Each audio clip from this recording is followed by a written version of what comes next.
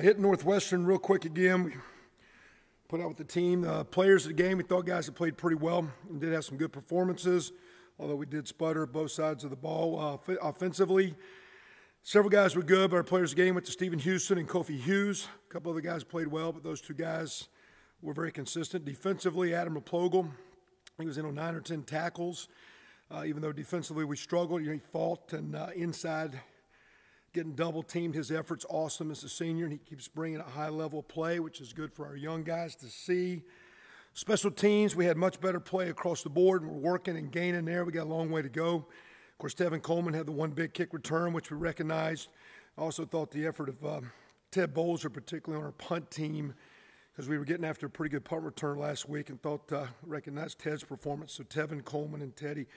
The guys you don't see, our scout players week, Billy Ivan and Damon Graham who's a young walk on out of uh, Arsenal Tech, uh, a late ad. It's a fast kid that we're excited about. Billy Graham, or Billy Graham, Billy Ivan, uh, one of our backup linemen. We're scout players on offense and defensively. Jake Supanzik, who always does well, special team and behind the scenes for us. And Sean Heffron out of Carmel, redshirt freshman, is doing great. Jake's a cathedral guy. So those guys we recognize for our team, for their individual play.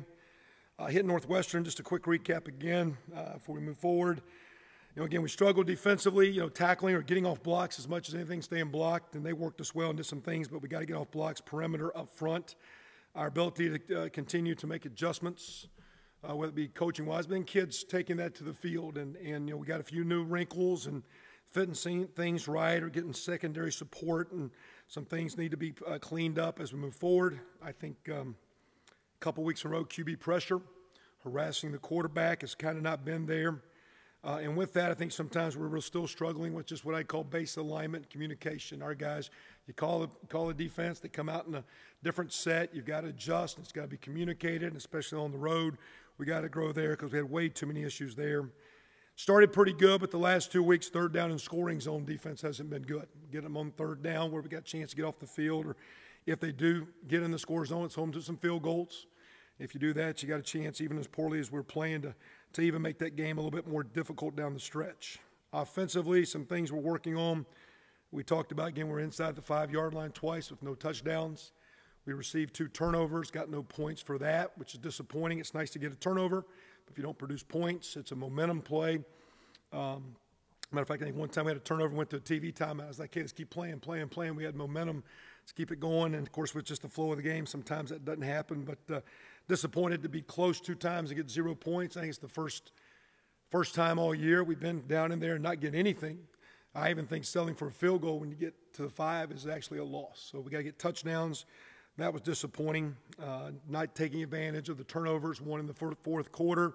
We get it to an, a one possession game and we go three and out, that was disappointing. Third down conversions haven't been what it needs to be, uh, and particularly in the first quarter. You know, I think we're looking at. Uh, First drive, third and three, then we throw an interception, then a third and two, then a third and five, then a third and three. So you got manageable situations. You're going to play a great defense this week that does a great job of third down D. When you get into third downs, you got to be a little bit more efficient, and that was disappointing. And I think offensively, even though we're making some plays, our lack of physical presence is not there. Uh, special teams was better. We talked about that. The one thing we're talking with our team about – and if you if you kind of look at us across from now, you know, four games, you'll see flashes in all areas of some decent things, but you don't see it consistently. You might get a good play out of an individual, a good play out of a certain part of the ball, good play at certain times of the game. We're not getting it for 60. Our comments to our guys, we're getting a little bit of that in practice. I think our practices are good. You know, I've talked about some guys not being personal, but when you say what's happening with so and so, I'd say, well, he's maybe not practicing as nice as we need him to. I think it's maybe just a little bit of, of where we are with, with being a little young and with leadership of our players. What's our standard of practice? What's our standard as we prepare Tuesday, Wednesday? We're getting better every day, but we, we need to take that even to another notch so we can be a little bit more efficient when we get out on the field. So that's a little bit of those guys. Again, I thought uh, special teams did improve, but a long way to go. I think the special team play with the kick return, a couple of the turnovers, you know, we didn't make points out of it. We did get hot in the third quarter, so as poorly as our game was, we were in a one possession game on the road.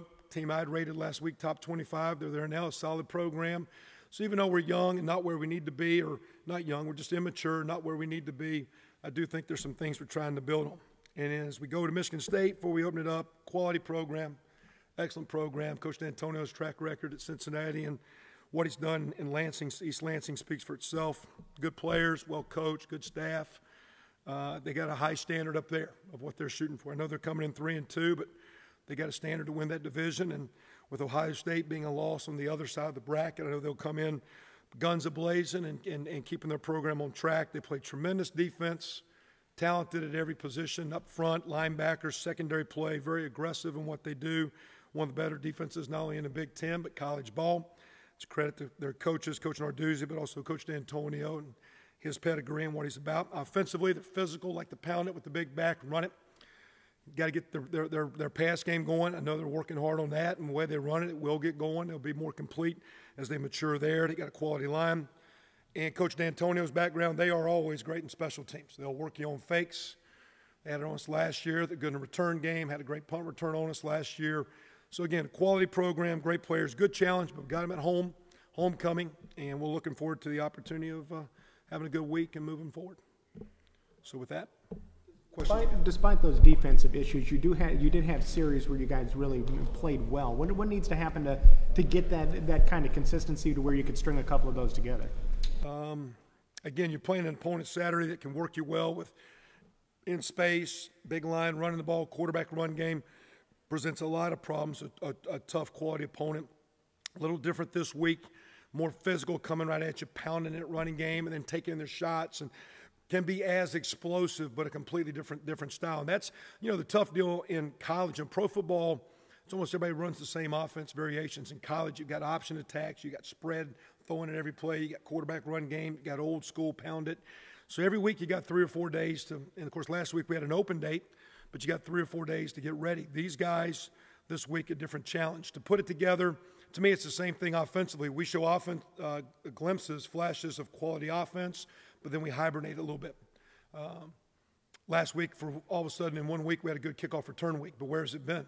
And then typically our deal, once something shows up, then we we put it on the shelf and it collects dust for two or three weeks or for a season before you see it again. So I think our challenge to our guys, if you're a good player, and you do something well, that's what you're capable of, but good players repeat it. In our deals, we're talking about practice, practice habits, physical playing practice. You got to be physical Tuesday, Wednesday. You got to get off blocks Tuesday, Wednesday. We start both of those days with an old school one on one, you know, Oklahoma red and white drill, whatever you want to call it. You know, get your pads, get off a block, stay on a block. We do inside base running to get a tone. We're gaining on it. Um, when you're not playing good football, there's errors where there's inconsistent play. We've minimized some critical errors, but we have enough errors for inconsistent play that we're not overcoming it. So, again, I don't think our defense is far off, but when you're inconsistent, it's far off. And we got to find ways, and that's the same deal for offense. I think our offense, quite honestly, numbers might look, I think our offense is far off because when you get a little bit off, you stress our team out. So we're working without complaining with our guys, just challenge them. What is your standard? What do you want to put on tape, and how do you practice, and how do you keep developing to improve the performance?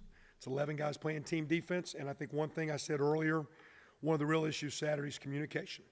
So if you make a call, you get a formation, everybody getting a call, everybody getting lined up properly, and now play football. And a lot of errors Saturday were just guys not being where they needed to be. And that's where, again, then it starts as coaches. Are we doing too much, doing too little, putting them in good spaces? You're always looking at what you're doing to move forward.